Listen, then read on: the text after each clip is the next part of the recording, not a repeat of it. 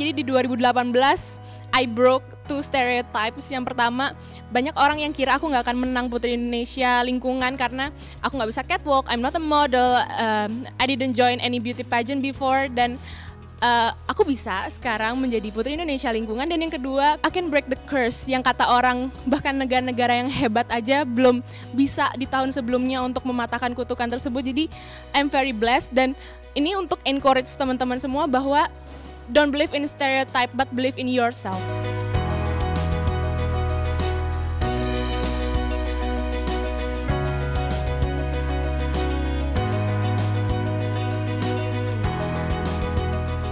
Uh, semenjak jadi Putri Indonesia banyak sekali pengalaman yang didapatkan mulai jadi uh, duta anti narkoba, duta anti kanker serviks. Terus aku sendiri mempunyai misi pribadi yaitu be diverse, be tolerance yang aku bawa di Miss Universe.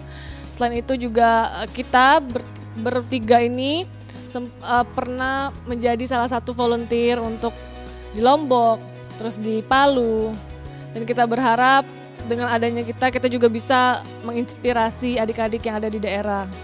Selain itu banyak sekali kegiatan yang di uh, diprogramkan oleh Yayasan Putri Indonesia sendiri, mulai dari tentang bagaimana merawat tubuh juga. Karena kita Putri Indonesia, kita wanita Indonesia, kita harus tahu bagaimana cara kita supaya tampil selalu menarik sebagai Putri Indonesia. Kalau dari aku sendiri nih di 2018 itu tahun yang kayak roller coaster kalau orang bilang. Karena um, benar-benar gak kebayang bisa jadi seorang putri Indonesia lingkungan. Karena sebelumnya bukan model, gak pernah ikut beauty pageant dan istilahnya baru lulus 4 bulan sempat kerja pula terus tiba-tiba terjun langsung ke dunia uh, putri Indonesia ini. Uh, banyak pelajaran yang biasa diambil karena itu keluar dari zona nyaman dan akhirnya aku memperlebar zona nyamanku. Yang dulu aku nggak punya kesempatan untuk ngomong di depan umum seperti sekarang ini sekarang aku sudah bisa terbiasa untuk berinteraksi sama banyak orang untuk membagikan cerita-ceritaku dan juga apalagi menjadi seorang putri Indonesia lingkungan di sini bawa misi untuk meningkatkan awareness masyarakat bagaimana cara uh, menjaga lingkungan meng menghindari sampah plastik dan bagaimana cara untuk merecycle dan dan sebagainya. Dan juga akhirnya tercapai cita-cita dari dulu memang punya cita-cita gimana ya bisa nggak ya aku suatu saat nanti untuk menjadi orang yang influensial dan bermanfaat bagi orang banyak dan di tahun 2018 ini alhamdulillah tercapai nggak cuma skalanya se Indonesia tapi juga secara internasional karena mewakili Indonesia di ajang Miss International 2018. 2018 ini benar-benar tahun di mana inilah jalan kamu yang sesungguhnya gitu. Inilah jalan Wilda yang sesungguhnya yang mungkin selama ini aku nanti-nantikan gitu dengan perjalanan hidup aku yang ditonton sebelumnya. Aku mencoba mendaftar poluan, aku juga kuliah, berjuang skripsi gitu kan, berjuang menyelesaikan S1 ku gitu. Tapi ternyata jalan Tuhan adalah di tahun 2018 terpilih menjadi Putri Indonesia Pariwisata, bahkan diberikan kesempatan dan kepercayaan untuk mewakili Indonesia di ajang Miss Supranasional di tahun 2018.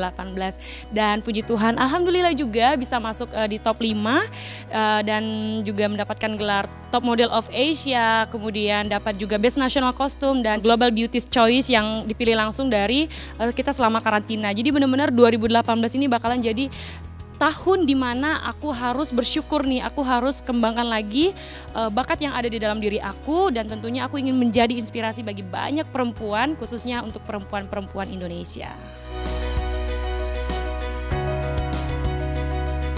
Bangga sekali karena kita bisa membawa nama Indonesia di kancah internasional dan juga puji syukur bisa sampai top 20 dari 94 negara. Di mana itu negara Asia, Afrika. Jadi kita tahun ini per kontingen Asia, Afrika, Amerika dan juga Europe. Dan itu saingannya sangat ketat. Semuanya luar biasa, visi misinya luar biasa, semuanya cantik-cantik, pintar dan sangat apa ya momen yang tidak mungkin dilupakan.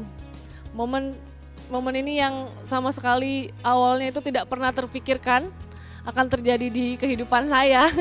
Akhirnya menjadi kenyataan dengan semua pembekalan dan juga banyaknya bantuan dari teman-teman, dari uh, pakar-pakar dari beauty pageant, luar biasa sekali. Momen ini apalagi waktu membawakan national costume itu luar biasa sekali karena kita membawa kebudayaan juga di sana. Aduh, aku luar biasa sekali lah membawa cendrawasih di mana semua orang mengatakan wah indah sekali ini apa ini apa mereka menanyakan dan Di situ bisa berbagi sedikit tentang uh, fauna yang ada di Indonesia juga, terus keindahan yang ada di Indonesia. Sempat juga ada masalah, tapi bisa overcome semua itu itu luar biasa sih. Pengalaman yang tidak mungkin dilupakan dan mungkin hanya bisa terjadi di kehidupan pribadi gitu. Kalau di Miss International 2018, I break the curse kalau kata orang-orang dan juga kata aku sendiri karena memang ternyata di Miss International ini ada suatu pola yang uh, membuat stigma baru atau kutukan baru buat orang-orang yaitu negara yang menang di tahun sebelumnya tidak akan bisa shortlisted atau masuk top 15 di tahun berikutnya atau istilah pageant itu unplaced. Nah itu dari tahun 2011 sampai 2017 seperti itu patternnya. Jadi bahkan negara-negara yang memang jagoan pageant nih kayak Venezuela atau Philippines pun mereka belum mematahkan kutukan itu dan Wow, ini seorang Fania yang baru pertama kali nyemplung pageant terus dari uh, Indonesia uh, yang istilahnya kita masih berjuang untuk mendapatkan predikat powerhouse kayak gitu. Itu bisa nggak ya untuk istilahnya jangan back to back dulu lah untuk shortlisted dulu untuk mematahkan kutukan ini. Uh, aku awalnya ngerasa aduh sia-sia nggak ya perjuangan aku persiapan selama tujuh bulan sebelum karantina di Miss International ini apakah hanya bak hanya bakalan berujung pada unplace gitu. Cuman uh, aku diingatkan sama teman-teman uh, semua keluarga bahwa this is your own battle. Uh, memang Indonesia tahun lalu pernah menang oleh Kevin Liliana juara satu mahkota pertama untuk Indonesia itu suatu kebanggaan namun itu tidak perlu dijadikan suatu beban untukku karena anggap aja kita start from zero lagi gitu. Kita um, belajar lagi, asah lagi sehingga kalaupun uh, aku membawa nama Indonesia di ajang Miss Internasional, pahit-pahitnya unplace, aku tetap orang-orang bisa tetap bangga. Oh, Fania nih loh bawa nama Indonesia di ajang Miss Internasional dengan sangat baik. Apa pun hasilnya kan bisa jadi apa pun ya kalau apalagi di beauty pageant ini kita nggak eh, nggak uh, bisa saklek pemenang dinilai secara angka dan sebagainya macam. Apalagi ketika pas malam final pemanggilan top 15 itu hanya aku tuh dipanggil tiga terakhir. Waktu itu hanya tersisa tiga slot lagi. Oh my god, tiga slot lagi dan masih banyak negara-negara yang menurutku memang kuat.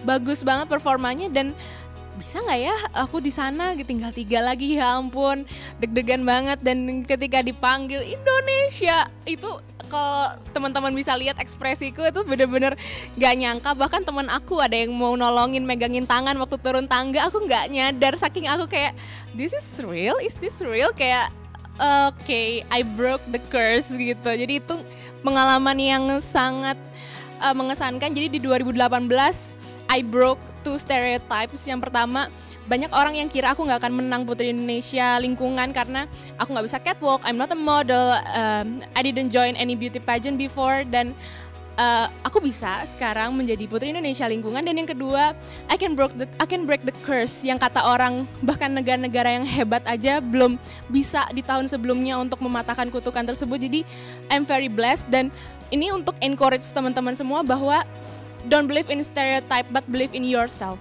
Seperti yang aku bilang tadi ini adalah bonus yang diberikan kepada kita bertiga untuk mewakili Indonesia dan huh, pencapaian yang luar biasa di dalam uh, mungkin kita bertiga juga nggak bisa mengungkapkannya dengan kata-kata karena benar-benar akan jadi pengalaman yang luar biasa dalam hidup kami dan akan bisa kita ceritakan ke anak cucu kita nanti.